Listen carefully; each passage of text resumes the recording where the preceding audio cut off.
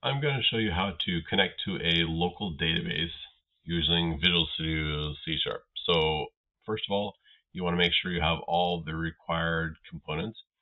So in the Visual Studio installer, make sure you have the .NET Desktop development and make sure you have the data storage and processing. So both of those are required. Go ahead and select them and then make sure it's installed. Next, after this, I go ahead and I create a new project, and this is going to be a Windows Form app.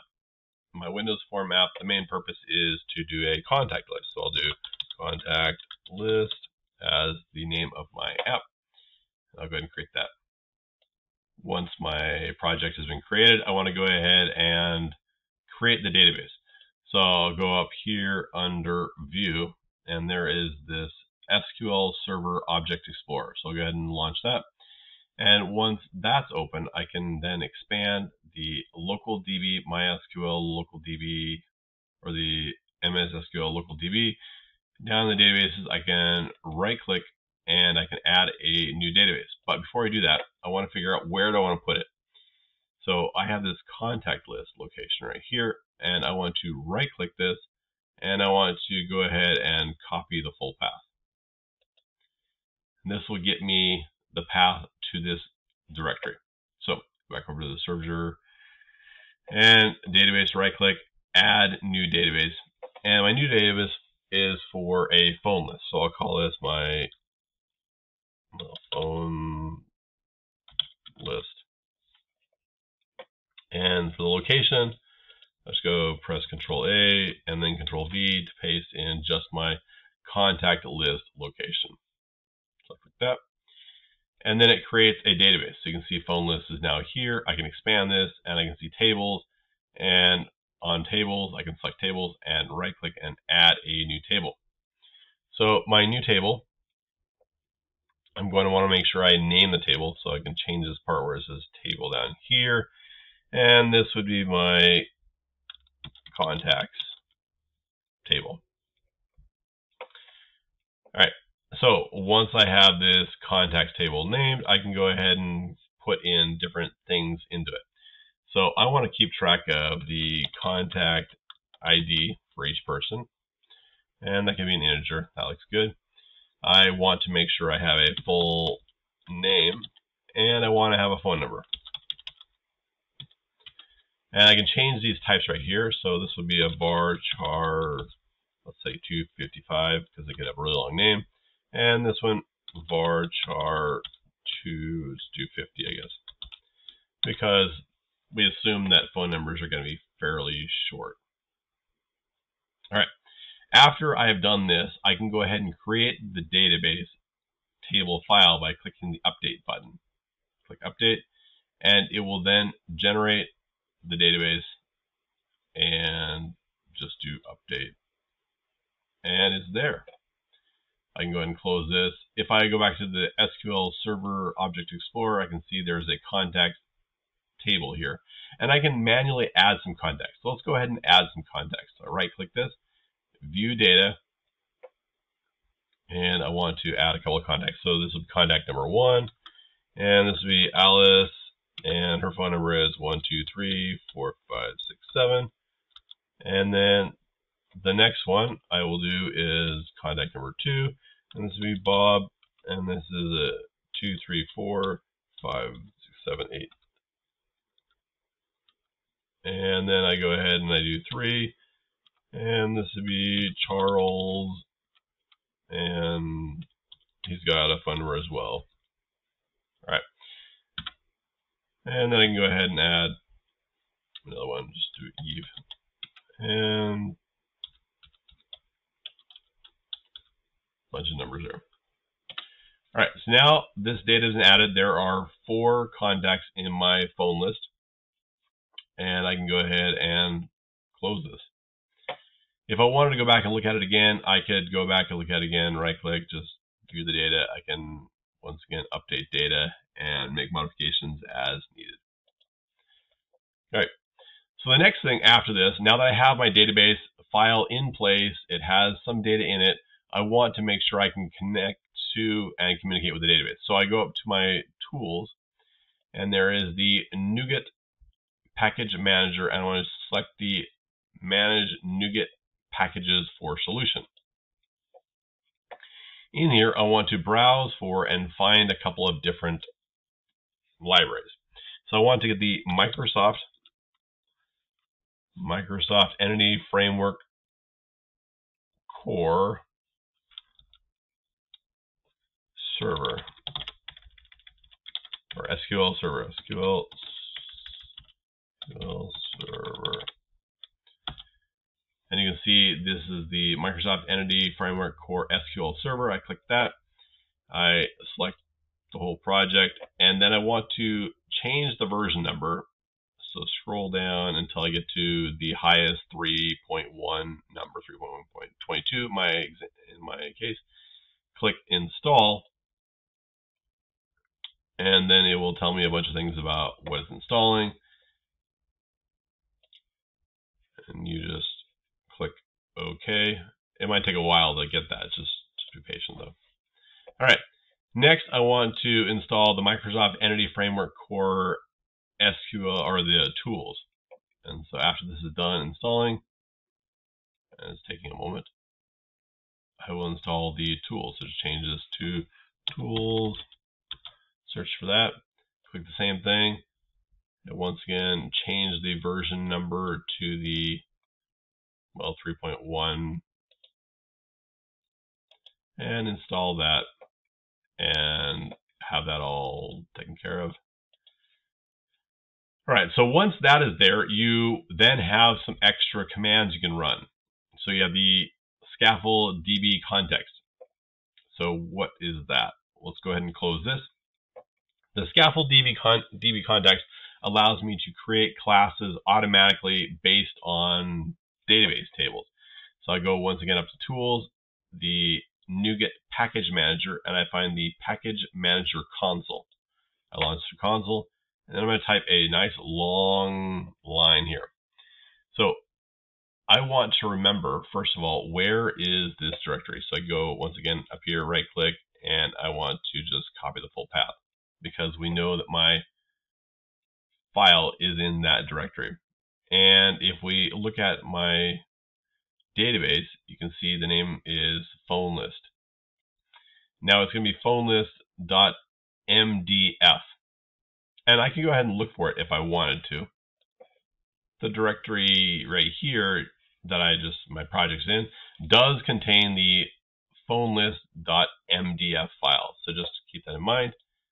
Now I'm going to type in a command here to get my scaffolding stuff all done.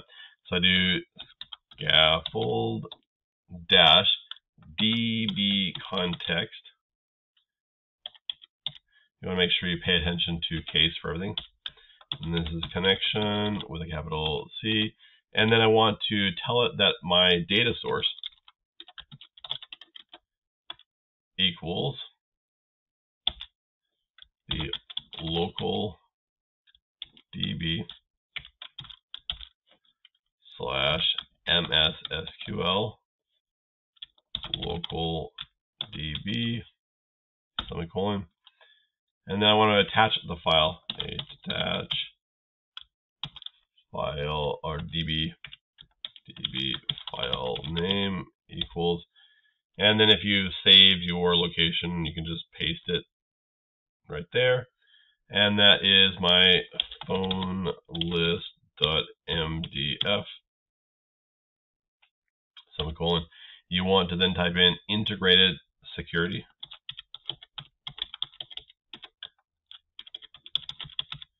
equals true. All right, now that's the first part. Now you want to figure out what your provider is, and you know that already because we installed it. We don't actually know that, but it's provider that is the Microsoft Microsoft dot entity framework core dot SQL server. And then my output directory, it's going to create a directory in my project. So I want to call this one models for my models.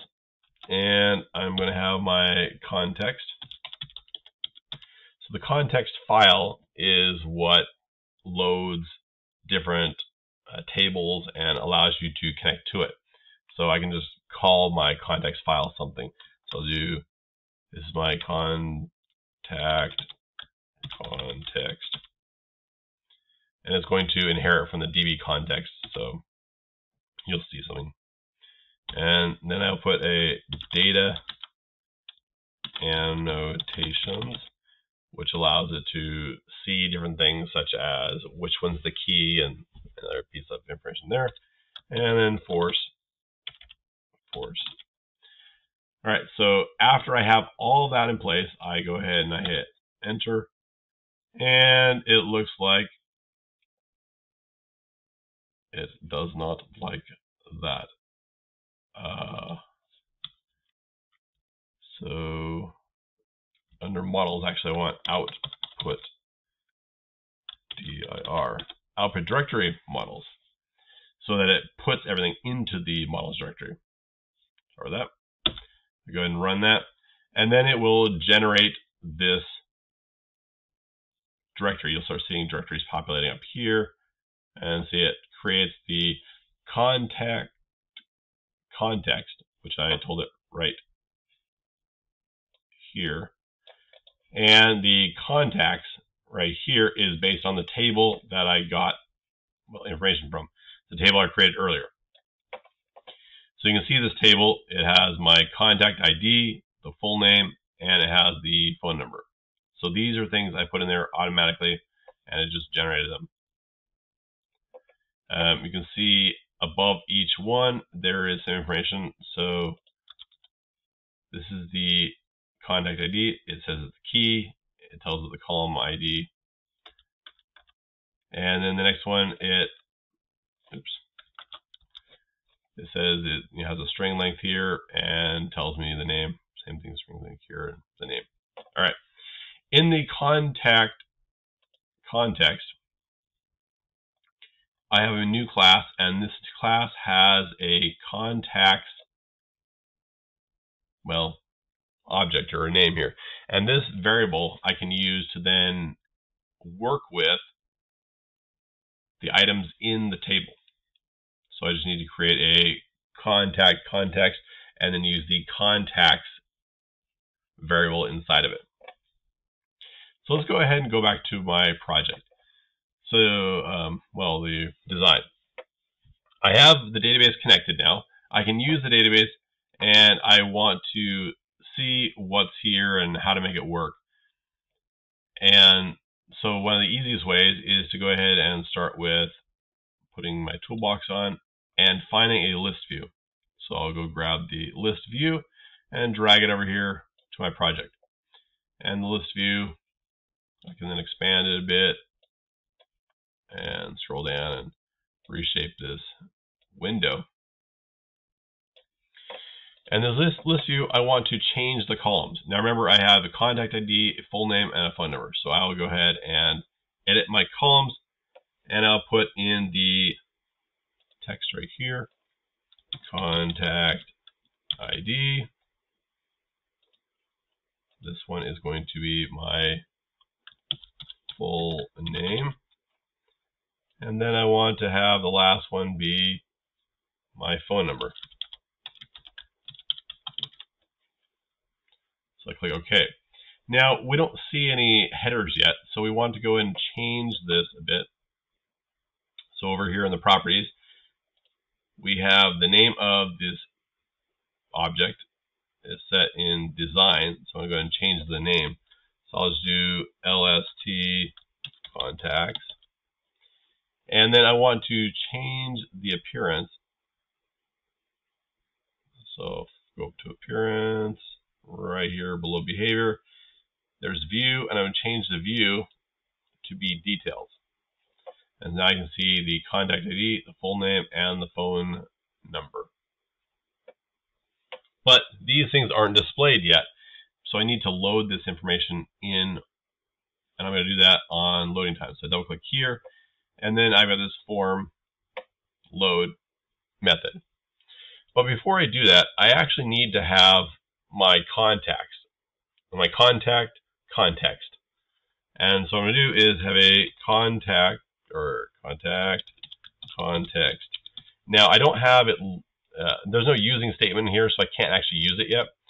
But I just like typing this thing in here first and then show potential fixes. And then it has the using contact list model. So I put that there. And now it's in there. So the models are all loaded. And so I want to create a contact context. I'm going to call this context. Or maybe just do some short CTX. And it's going to be a new contact context. Once I have this in place, I can use variables from that. So if I use, uh, if I want to get the contact list, I can do a var contacts, create a local variable equal to, and I'll use the ctx dot, and I want to get the contact contacts right there. All right, I want to populate this list view right here. So what I'm to do first is clean out the list view because we don't really want it to have any data. So I'll do my lst contacts dot items clear. So it's all empty, first of all. I mean, it was empty already because there's nothing there, but I'm going to go ahead and clear it just because I like I like to have a habit of doing that. And then I want to loop over all the contacts and put them there. So I need another variable. So I'll do an int i equals 0. And this is for which row number, starting with 0. Now for each loop, for each and contact contacts because it's called a contacts over here and I would call it contact. And this is in my variable just grabbed, which is contacts.